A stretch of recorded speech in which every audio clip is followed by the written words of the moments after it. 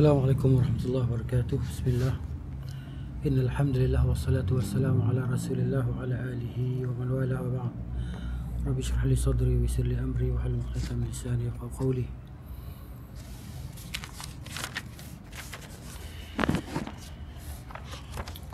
Uh,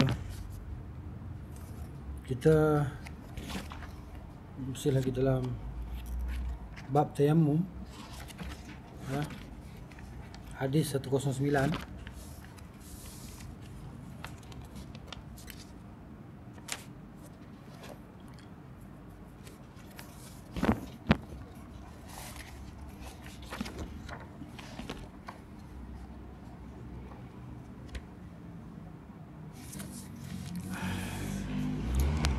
وعن عمار بن ياسر رضي الله عنهما قال بعثني النبي صلى الله عليه وسلم في حاجة فأجنبت فلم أجد الماء فتمرغت في الصعيد كما تتمرغ الدابة. ثم أتيت النبي صلى الله عليه وسلم فذكرت له ذلك فقال إنما يكفيك أن تقول بيديك هكذا. ثم ضرب بيديه الأرض ضربة واحدة ثم مسح الشمال على اليمين وظاهر كفيه ووجهه متفق عليه ولفظ لمسلم. وفي رواية للبخاري وضرب بكفيه الأرض ونفق فيهما ثم مسح بهما وجهه وكفيه.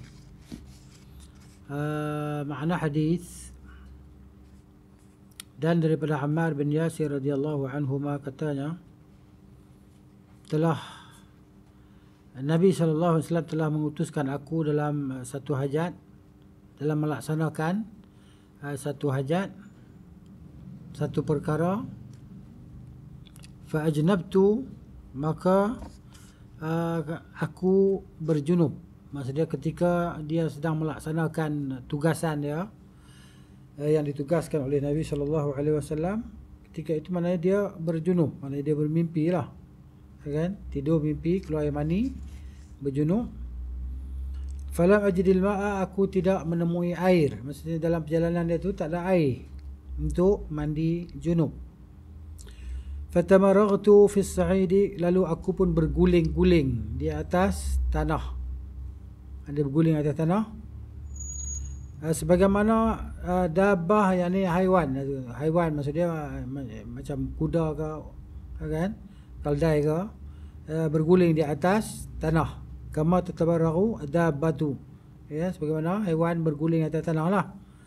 Uh, untuk maknanya menghilangkan uh, hadas. Eh sebab dia teringat pada uh, apa nama tak mungkin ada dalam pengetahuan dia bahawa kalau tak ada air boleh bersuci dengan tanah. Kan? Fatayammamu sa'idan tayyiban kan? Allah Taala kata fatayammamu sa'idan tayyiban. Tapi kaifiat tayammum dia tak tahu okay? dia tak tahu kaifiat tayammum tapi ayat Quran cerita fatayammamu sa'idan tayyiban maksudnya bertayammum lah dengan tanah yang suci kan tapi kaifiat tayamum dia tak tahu. Jadi buat macam itulah untuk menghilangkan hadas. Uh, ijtihad daripada dia lah. Ijtihad daripada dia sendiri. Maknanya uh, sebab Nabi SAW tak ada di situ macam mana nak tanya Nabi. ثم أتيت النبي صلى الله عليه وسلم فذكرت له ذلك maka kemudian aku pun mendatangi Nabi sallallahu alaihi wasallam maka aku pun menyebutlah uh, yang demikian itu kepadanya. Faqala maka kata Nabi sallallahu alaihi wasallam hanya saja memadai bagi engkau akan uh, engkau uh, bahawa engkau melakukan begini. Antaqula yang engkau lakukan begini. Biyadaika dengan dua tangan engkau hakadha. Nabi sallallahu alaihi wasallam tunjukkan dua tangannya.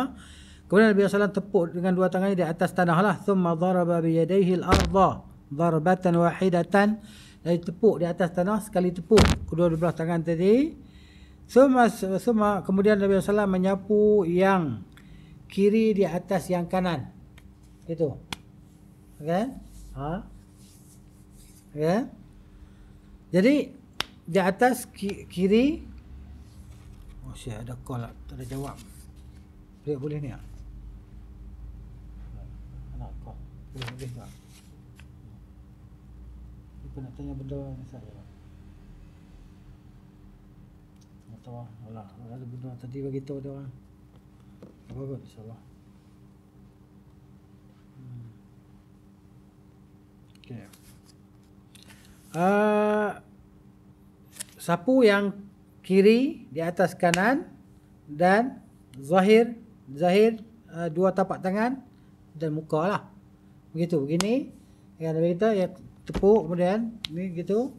Ha? Ha. Dan wajah. Maknanya tangan dan wajah. Ha.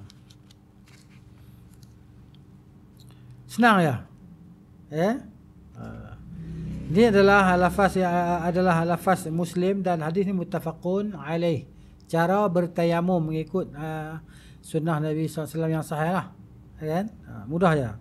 Tangan, kemudian muka. Dua tu ya.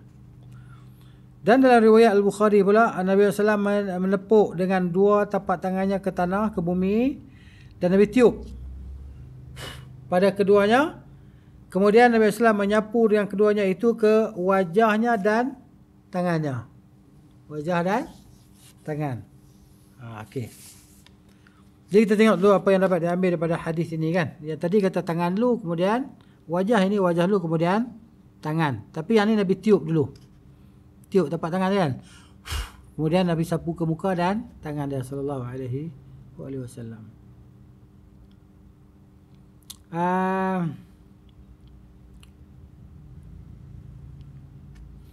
Pengajian uh, apa yang dapat diambil pada hadis ini? Yang pertamanya uh, masyru'iyyatu tayammum lis-salah. Uh, disyariatkan kita bertayamum untuk mendirikan salat ketika orang tu berhadas lah dan tidak menemui air ataupun mana tidak, tidak boleh untuk menggunakan air. Dan selainnya daripada segala ibadat yang wajib uh, yang mewajibkan padanya uh, bersuci. Jadi uh, tayamum itu adalah satu daripada cara untuk mengangkat hadas lah yang disyariatkan. Yang keduanya hadis menjelaskan tentang uh, sifat tayamum, cara untuk bertayamum iaitu dia menepuk uh, dengan kedua tangannya ke tanah, ke bumi, maka dia menyapu wajahnya dan tapak tangannya. Eh? Uh, sama ada dalam hadas kecil ataupun hadas besar. Sama saja. Sifat dia satu saja. Kemudian uh, Hadis juga menjelaskan tentang uh, harus kita menipiskan debu yang banyak yang melekat di tangan kita lah. Kan? Uh, dengan kita meniup debu tadi lah. Kemudian kita menyapu ke, ke wajah dan kedua tangan tadi. Dan tidak perlu untuk sapu sampai ke siku. Uh, uh, tidak perlu untuk sampai ke ke siku. Dan tayamum itu hanya sekali tepukan sajalah untuk muka dan tangan sekali tepuk saja. Dia bukan untuk tangan sekali tepuk, untuk muka sekali tepuk. Tak, sekali tepuk tu untuk wajah dan tangan sekali lah. Kemudian kelimanya ah, harus kita berijtihad dalam perkara, dalam perkara eh, ilmu, dalam masalah ataupun perkara ilmu. Ah, sehingga di zaman Nabi SAW, ah, para sahabat berijtihad kerana Nabi tidak ada di hadapan mereka.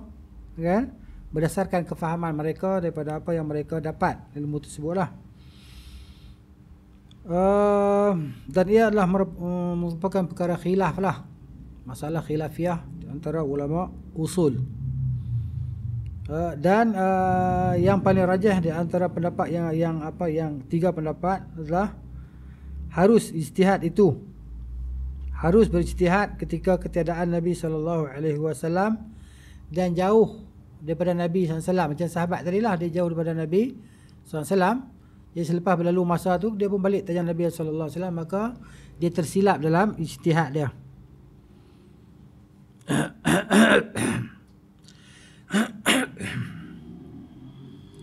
Uh, hadis ini padanya terdapat asal uh, penggunaan kias lah dan pengakuan Nabi wasallam. Jadi amal dikias kepada apa? Kias kepada mandi lah. Mandi air kita meratakan meratakan air ke seluruh anggota badan, mandi junub. Jadi dikiaskan uh, tayamum dengan mandi junub. Dan sebab tu dia berguling-guling di atas tanah kan, bagi kena debu semua badan dia. Eh? Ha. dia beramal dengan kias lah. Ha, gitu. Dan uh, jadi Nabi SAW mengakui ikrar tentang kias Nabi, ikrar lah. Pengakuan. Uh,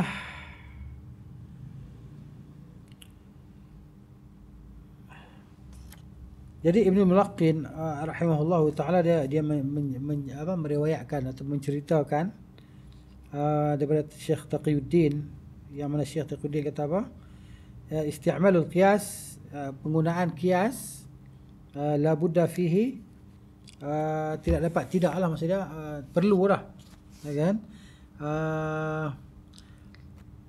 apa nama diperlukan maksud keperluan untuk qiyas ni kena ada ilmu dululah. Ilmu tentang disyariatkan tayamum. Dia tahu sebelum mana dia tahu uh, tayamum tu adalah disyariatkan tapi kaifiat dia tak tahu macam mana. Kan? Lalu dia berbalik kepada qiyas lah. Ha, gitu jadi uh, Ammar radhiyallahu anhu radhiyallahu anhu ketika dia melihat bahawa air itu adalah khusus ya dengan sebahagian anggota badan. Tadi untuk berwuduk kan air maka dia gantikannya dengan uh, tayamum yang yang khusus. Tapi dia tak tahu kaifiat tayamum tu macam mana okey maka dia ijtihad atas diri dia sendirilah okay. Uh, yang mana mandi itu uh, kita meratakan air ke seluruh anggota badan. Jadi kiaskan dengan tanah tadi maka dia pun ratakan uh, tanah tadi ke seluruh anggota badan dia. Kemudian uh, yang ketujuh Nabi SAW tidak memerintahkan Ammar uh, radhiyallahu anhu untuk mengulangi tayang apa nama wuduk atau mengulangi sifat ibadat tadi lah. Ya? Maknanya memadai dengan ijtihad yang pertama tadi. Kalau kena ulang nasihat Nabi suruh dia ulang balik dia menunjukkan bahawa uh, barang siapa yang beribadat kepada Allah di atas jalan ya, yang tidak disyariatkan tetapi dia jahil dalam keadaan kejahilan dia buat macam tu kan dia ingat macam tu ha? Uh, jadi maknanya orang yang macam ni diberikan pelajaran kepada dia lah. Maksud dia kena menuntut ilmu tanya. Jadi apa yang telah berlaku yang telah lepas tu maknanya okey lah. Eh, tapi untuk yang akan datang dia tak boleh buat macam tu lagi lah. Eh, dan tidak diperintahkan dia untuk qada. Wala yu'maru bi qada'i ma fatahu. Kan apa yang terlepas daripada dia. Baik, jadi kalau wajib qada, nasihat maknanya disuruh qada lah. Tapi SAW tidak, tidak suruh pun dia untuk qada salat. Jadi ada satu, satu dalil yang menyokong bahawa tidak ada qada bagi salat. Ya, yang telah dilaksanakan lah. Ya, ha, begitu. Dan dia tersilap dalam melaksanakannya. Padahal dia pun dah melaksanakannya. Uh, dalam waktu dia jahil kan. Dan uh, berkenaan dengan perkara ini terdapat banyak dalil lah eh, dalam syariat. Di antaranya hadis yang kita baca tadi lah. Dan di antaranya adalah kisah seorang lelaki yang uh, solat tak betul. Dia solat, lepas tu dia pergi jumpa Nabi, Nabi suruh solat balik. Pergi jumpa Nabi, Nabi suruh solat balik, jumpa suruh solat balik kan. Sampailah dia kata aku tak arti dah ni aku tahu. Maka Nabi pun ajarlah cara solat yang betul. Itu di hadapan Nabi SAW. Nabi melihat tadi. Kata Syekh di sini, uh, qala Syekhul Islam, kata Syekhul Islam Ibn Taimiyah rahimahullah, wa ma tarakahu li jahlihi bil wajib. Apa yang dia tinggalkan kerana kejahilannya dengan perkara yang wajib tadi? Uh, seperti uh, dia solat tidak tamak ninah kan? Uh, tidak tamak ninah dalam solat. Maka yang sahihnya uh, seperti ini tidak ada pengulangan solat ke atasnya apabila dia keluar daripada keluar daripada waktu waktu ibadat tadi lah. Habis waktu. Maknanya waktu dah lepas dah zuhur tadi ke kan? Subuh tadi ke dia tidak perlu lagi mengulangi solatnya. Ya? Tapi kalau masihlah waktu itu maka dia ulanglah kerana Nabi sallallahu alaihi wasallam berkata kepada orang yang solat tak betul itu dalam waktu tu waktu solat tak habis lagi Nabi kita pergi solat kerana kamu belum solat hadis juga riwayat al-Bukhari dan Muslim Uh, seterusnya uh, pengajaran itu uh, dia boleh dengan perkataan dan perbuatan lah. Okay. Uh, maknanya Nabi ajar dengan perkataan dan Nabi ajar dengan perbuatan. Jadi uh, sekarang orang panggil wasail ridah maksudnya cara-cara untuk uh, penyampaian. Kalau kita sekarang ni kita mengajar guna projektor, guna apa? Guna yalah guna alat-alat bantu mengajar tadi kan. Ha, kalau zaman hari ni macam-macam guna alat kan. Hmm. Kalau sekolah tadika dia guna macam manilakat lah apa lah macam-macam lah. Ha, gitu.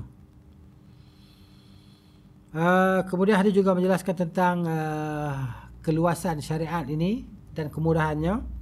Uh, sebagaimana firman Allah Taala dalam surah Al-Hajj ayat 78. A'udzu billahi minasyaitonir rajim. Wa ma ja'ala 'alaikum fid din min harajin. Allah tidak menjadikan kesusahan, kesempitan untuk kamu dalam agama ini. Uh, Hadis juga menjelaskan tentang maknanya uh, perlu untuk merujuk kepada pakar ya, pada uh, orang yang berilmu yang pakar tentang suatu perkara setelah kita beristihad. Setelah seorang itu beristihad ketika ketiadaan orang berilmu, beristihad dalam maksudnya dia panggil dalam waktu sempit. Istihad dalam waktu sempit. Kemudian nanti bila dah uh, bertemu dengan orang yang yang yang lebih berilmu atau yang mengetahui maka dia tanya soalan tadi lah tentang istihad dia betul ataupun tak tak betul. Ha. Sebab? Sebab uh, kaedah umum menyatakan la la yukallifullahu nafsan illa wus'aha laha ma kasabat. Kan?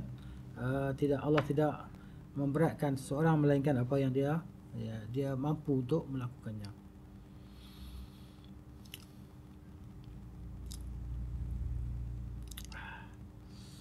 Kemudian hadis yang ke 110 وعن ابن عمر رضي الله عنهما قال قال رسول الله صلى الله عليه وسلم التيمم ضربتان ضربة للوجه وضربة لليدين إلى المفرقين رواه دار قطني وصحاه الأئمة وقفه جبر عبد الله بن عمر رضي الله عنهما كتانيا سبدا رسول الله صلى الله عليه وسلم تيمم لدوا تبوكان دوا تبو هذه yang kita amalkan dalam mazhab syafi'i hadis ni kan tepuk dua kali sekali tepuk untuk muka dan tepuk sekali lagi untuk kedua tangan sampai ke siku. Riwayat dari Qutni dan disahihkan oleh uh, para imam uh, wahwa hadis hadis mauquf. Ya sahih maksudnya sahih bukan?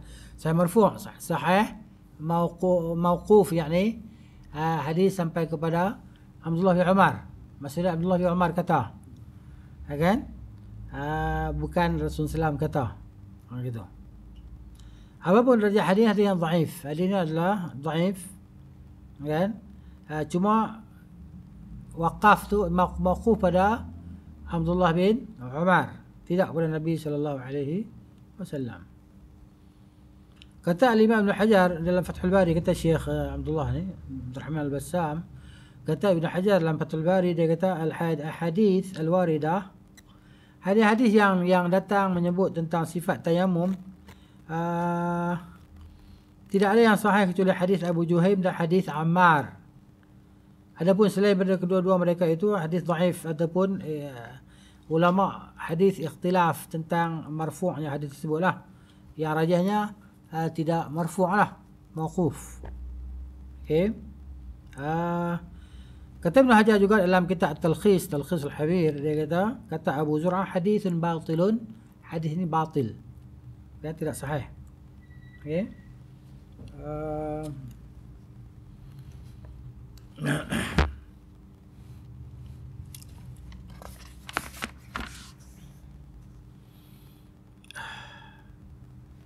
Jikalau hadis dhaif nak kita tak payah ni lah. Tak payah nak baca lah. Ya. Teruskan hadis yang seterusnya. Cuma berlaku khilaf lah perselisihan ulama tentang uh, sifat tayamum tadi. Jadi bila hadis tu dhaif jelas sahih lah.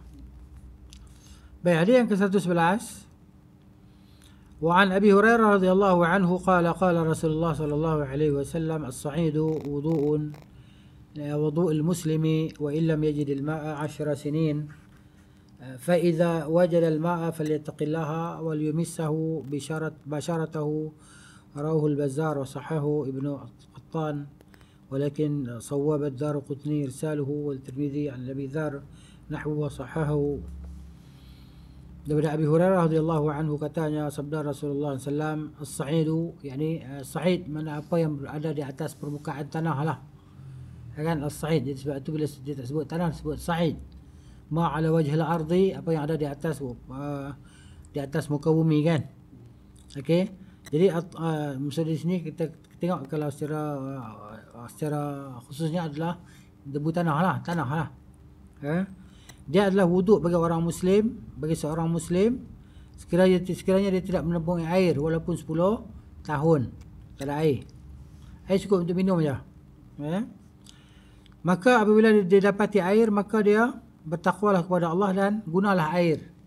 Ya, gunalah air untuk uh, mengangkat hadas dan berwuduk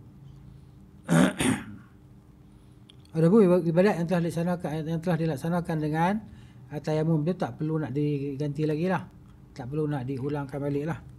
Begitu uh, ma yukhadu min hadis apa yang dapat diambil dari hadis ini? Uh, yang pertamanya masyru'iyatut tayammum disyariatkan bertayamum uh, ketika ketiadaan air lah macam hadis yang kita baca tadi lah. Ya? Yeah. Uh, kata Syekh Taqiyuddin rahimahullahu man man intana'a 'an as-salati bit-tayammum Barang siapa yang tidak mahu mendirikan solat dengan tayamum, dia nak tunggu nak ada wuduk baru dia nak qada balik. Maka ini adalah daripada jenis perangai ataupun perbuatan orang-orang Yahudi dan Nasrani. Okay? Ha, kenapa? Kerana tayamum adalah untuk umat Nabi Muhammad sallallahu alaihi wasallam secara khusus. Ya. Ha, kata Nabi sallallahu ju'ilat liyal ardu masjidan tahura. U'titu khamsan lan yu'ta'ahun ahadun qabli. Ya. Ahaduhunna qabli diberikan kepada aku lima perkara yang tidak diberikan kepada rasul-rasul nabi-nabi sebelumku di antaranya ju'ilat liyal ardu masjidan wa tahura dijadikan untukku bumi itu tanah itu suci uh, sebagai masjid dan suci untuk uh, digunakan untuk bersuci lah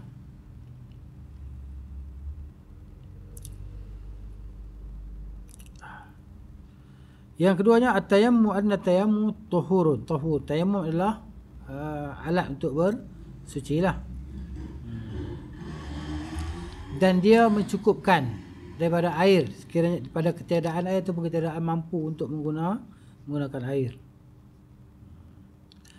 Kemudian yang ketiganya harus tayamum di atas segala apa yang ada di atas muka bumi lah.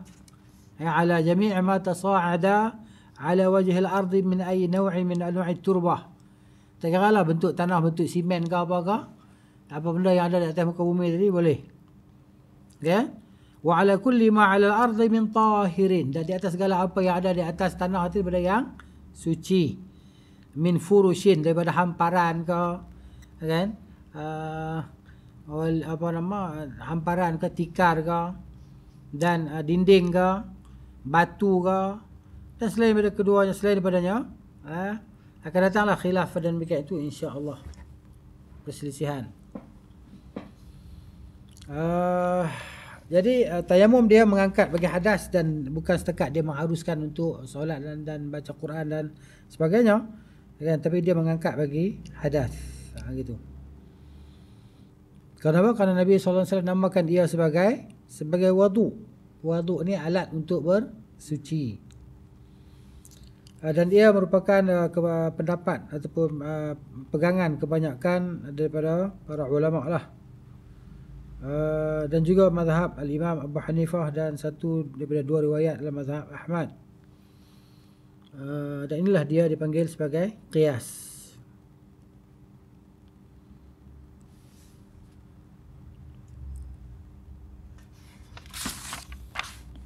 Baik, boleh kita lihat kepada uh, perselisihan lah khilaf di antara ulama tentang masalah ini untuk pengetahuan tambahan. Uh, jadi ulama berselisih pendapat. Adakah tayamum itu dia mengangkat hadas ataupun dia tidak mengangkat hadas ataupun dia hanya sebagai mengharuskan kan mengharuskan untuk melakukan solat ataupun apa lagi uh, selain solat uh, pegang Al-Quran lah kita kata pegang Al-Quran contohnya ya okey uh, Jadi mazhab uh, Al-Hanabilah ataupun mazhab Hanbali dan selain mereka menyatakan bahawa itu adalah mubih mengharuskan tetapi tidak mengangkat hadas. Dia hanya mengharus tapi tidak mengangkat. Nak angkat hadas kena guna air. Jadi nanti bila jumpa air kena angkat balik hadas, kena mandi balik. Itu mazhab Hanbali ya. Ha, dan mereka berdalilkan dengan sabda Rasulullah SAW, "Fa wujidal ma' apabila didapati air, falyataqillah wal yumissahu basharatahu." Ha, bila didapati air maka bertakwalah kepada Allah dan sentuhlah gunalah air itu untuk mengangkat hadas. Dan mereka berkata inna hadha dalilun ini adalah dalil merupakan dalil bahawa al-mutayammim orang yang bertayamum itu apabila dia jumpa air wajib atasnya untuk menyentuhkan air itu ke kulitnya. Ya. Uh, kenapa? Karena junub ya. Uh, yang telah apa yang telah dialami tadi lah. Ya. Karena tayamum tidak mengangkat hadas dia kata. Dia hanya mengharuskan untuk solatnya. Ya. Hadas tetap kekal lagi. Hadas masih ada. Hmm, tapi pendapat ni marjuh lah. Pendapat yang tidak kuat lah. Dan sebagian mereka pula uh, menyatakan yang ini di antara ini adalah mazhab Hanafi lah. Mengatakan bahawa tayamum dia berdiri di tempat air pada segala keadaan. Dan, dan dia mengganti bagi air. Ya? Hukum dia sama. Ya kan? Jadi dia dia mengangkat bagi bagi hadas dia mengangkat bagi hadas dan dia boleh solat bila dia kehendaki untuk solat. Pada mana-mana waktu lah. Tapi bila dia jumpa air maka tayamum dia pun batal lah. Okay? bagi ibadat yang seterusnya. Tayamum itu terbatal. Uh, kerana Allah SWT menjadikannya sebagai ganti bagi air maka hukumnya seperti hukum air. Uh, kerana inilah uh, kata Syekhul Islam rahimahullah bahawa perselisihan di antara keduanya adalah khilaf yang lafzi khilaf pada lafaz sahaja okay? uh, demikian itu kerana orang orang yang orang-orang yang berkata ia tidak mengangkat hadas. Mereka tidak mewajibkan mengulangi pun. Ya kan? Tidak mewajibkan mengulangi ibadat yang telah dilakukan. Ya, ketika dia telah menggunakan air. Dan mereka yang mengatakan ha, dia terangkat hadas mereka mengatakan uh, hadas itu terangkat mengikut waktu yang telah ditetapkan. Ya kan? Sampai kepada satu waktu yang dia mampu untuk menggunakan air. Ya kan maka tak boleh lagi lah dia nak gunakan tayamum tadi ya kan ini sabit dengan nas dan ijma' ya kan ah, bahawa tayamum itu terbatal eh, apabila kita mampu untuk menggunakan air ha. jelaslah uh, hadis yang ke-112 وعن أبي سعيد الخدري رضي الله عنه قال خرج رجلان في سفر فحضرت الصلاة وليس معهما ماء فتيمما صعيدا طيبا فصليا ثم وجد الماء في الوقت فأعاد أحدهما الصلاة والوضوء ولم يعد الآخر ثم أتى يا رسول الله صلى الله عليه وسلم فذكر ذلك له فقال الذي لم يعد أصبت السنة وأجزأت وأجزأتك صلاتك وقال الآخر لك الأجر مرتين رواه أبو داود والنسائي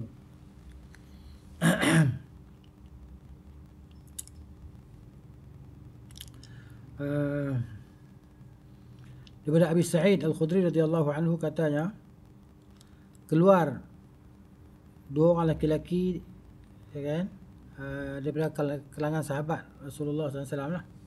Dalam satu perjalanan, dia pergi musafir. Maka masuk, masuk waktu solat. Masuk waktu solat. Dan tidak ada air bersama mereka berdua yang, yang dapat digunakan untuk berwuduk lah. Air. Lalu mereka berdua berjunub. Uh, mereka berdua bertayamum. Bertayamum. Kan? Uh, dan solat.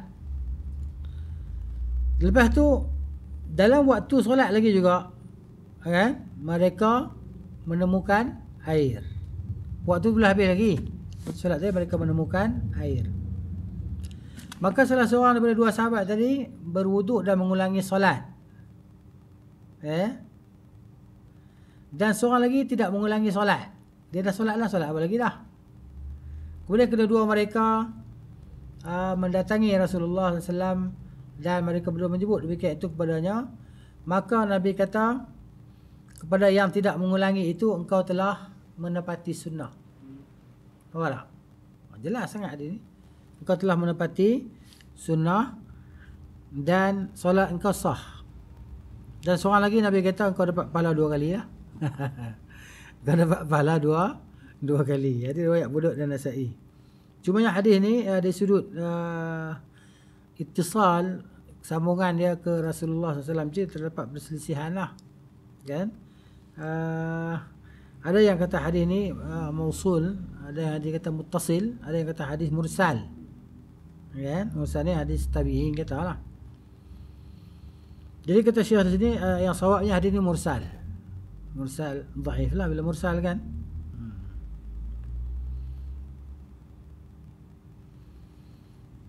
Uh,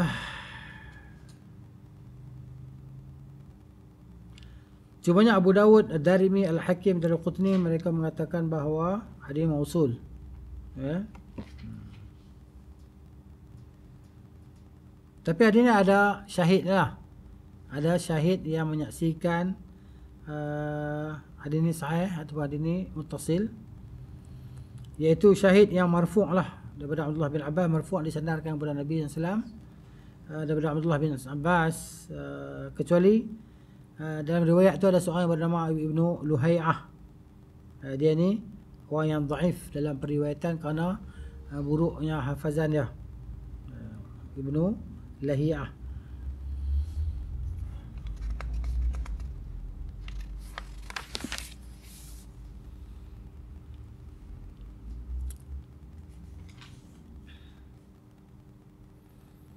Kita lihat ya, apa yang dapat diambil pada hadis ini. Yang pertamanya disyariatkan bertayamum. Eh, disyariatkan tayamum. Uh, yang mana ia uh, berlaku sejak zaman Nabi sallallahu alaihi wasallam di kalangan kaum muslimin lah para sahabat. Yang keduanya dia menjelaskan bahawa ketiadaan air mengharuskan kita bersuci dengan bertayamum sebagaimana firman Allah dalam surah Al-Maidah ayat 6. Falam tajidu ma'an fatayammamu sa'idan tayyiban. Maka kamu tidak mendapati air, maka bertayamumlah dengan tanah tadi. Di atas tanah lah, seperti di tanah.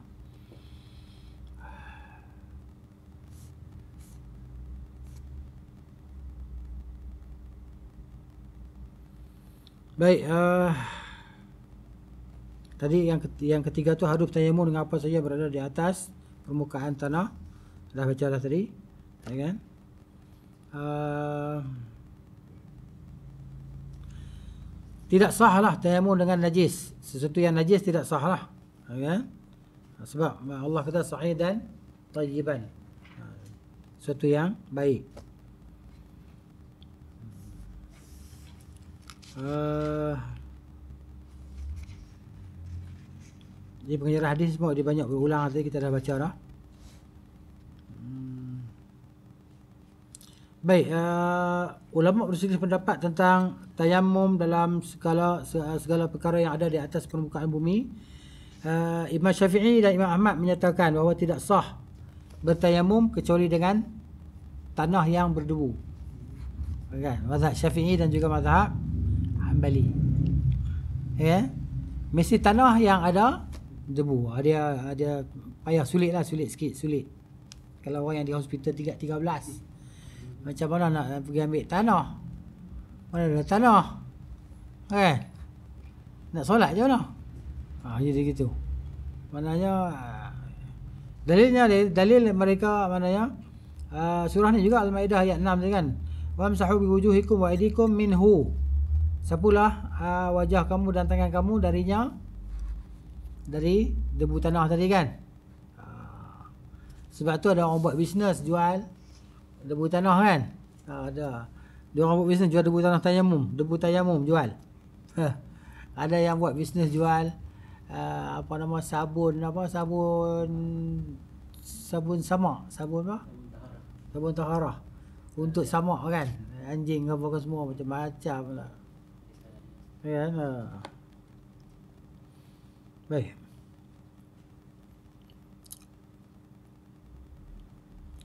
Uh, ada pun Abu Hanifah dan Imam Malik uh, mereka menyatakan bahawa harus tayamum dengan segala apa yang ada di atas muka bumi tak kisahlah apa pun. Ada debu ke, tak ada debu ke. Boleh. Akan atas pasir ke, atas batu ke, atas benda yang lembap ke, di atas benda yang kering ke, yang terbakar ke. Kan? Atas rumput ke, atas pokok ke, atas hamparan ke, atas belakang haiwan ke, atas motor ke, seat motor ke, dalam dalam apa? Kosen kereta ke. Kosen kereta kan kalau tepuk kan debu pun lebak debu keluar. ya, tak kisah atas apa pun. Ha, tak kisah. Janji atas muka bumi lah. Ha? Ha. Dan begitu juga pendapat ini diikuti oleh Al-Auza'i dan juga Sufyan Al-Thawri. Ya. Dan kata Al-Imam An-Nawawi ini juga satu pendapat dalam mazhab kami lah, mazhab Syafi'i. Sebahagian daripada orang yang bermazhab Syafi'i juga berpendapat dengan pendapat macam ni. Dan dia juga merupakan satu riwayat yang lain daripada Al-Imam Ahmad. Telah dipilih oleh Syekhul Islam dan Ibn Qayyim rahimahumullah.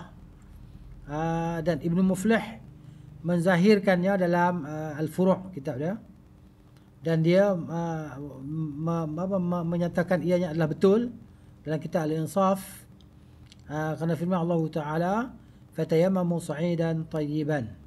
Dan sabda Nabi SAW ju'ilat liyal ardu masjidan wa tuhura. Dijadikan untuk aku bumi sebagai uh, tempat uh, solat dan juga sebagai suci lah. Jadi uh, hadis ni secara umumnya dia memberi faedah harus bertayamum dengan segala apa yang ada di atas permukaan bumi.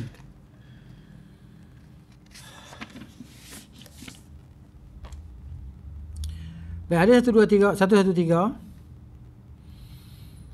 وعن ابن عباس رضي الله عنهما في قوله عز وجل وإن كنتم مرضى أو على سفر قال إذا كان كانت بالرجل بالرجل الجراحة في سبيل الله والقروح فيجنب فيخاف أن يموت إن اغتسل تيمما راه دار قطني موقوفا. ورفعه البزار وصححه ابن خزيمة والحاكم. لبناء عبد الله بن عباس رضي الله عنهما دلام من أفسير كان فرمى الله تعالى.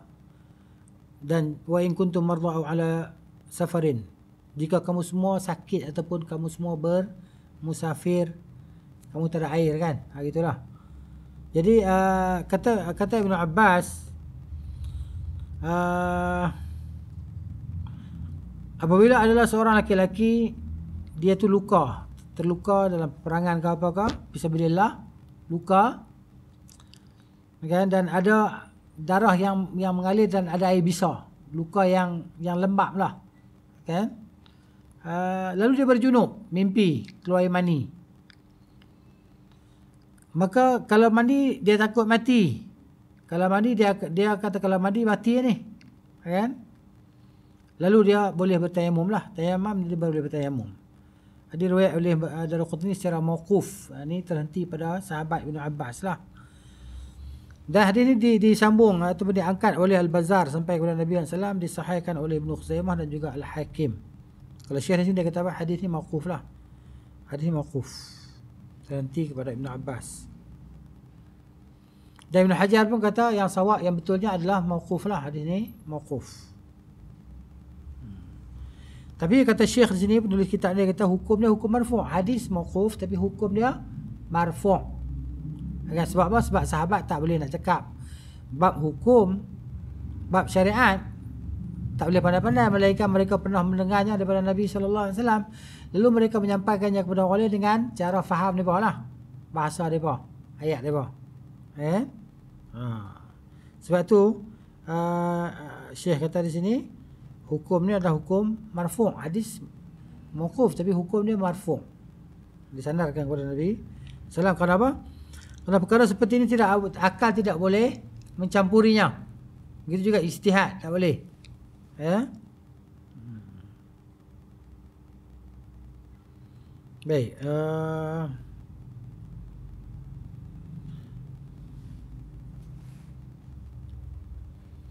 Kalau tengok apa yang dapat diambil pada hadis ini uh, kata ulama kalau kalau ikutnya tafsir Ibn Abbas tu ayat tu mana jelas lah kan yang kita sebut tadi lah. Okey uh, kata ulama qala al kata ni man khafa bi isti'mal al ma' darar badanihi. Barang siapa yang takut mudarat pada badannya bila menggunakan air kerana tak, tak, kerana sakit eh, atau dia takut sakit dia bertambah ya. Uh, maka dia boleh uh, berpaling untuk meninggalkan air lah kan uh, gunakan tanah tadi untuk bertayamum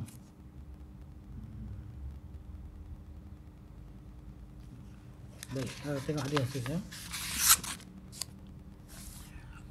وعن علي بن وعن علي رضي الله عنه قال انكسرت إحدى الزندية. فسألت رسول الله صلى الله عليه وسلم فأمرني أن أمسح على الجبائر. رواه ابن ماجه بسند واهن جدا.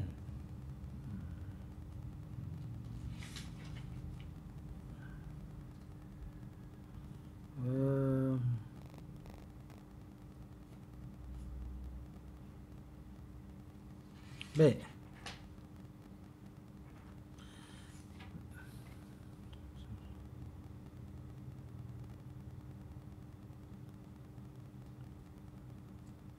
Oh. Okay, kita berhenti situ sini. Kena tekak. Hmm. InsyaAllah kita sambung lagi lah pada sesi yang akan datang. Uh, Subhanakallahumma bihamdika asyhadu an la ilaha illa anta astaghfiruka wa atubu ilaik. Assalamualaikum warahmatullahi wabarakatuh. Kering semua tak ada air.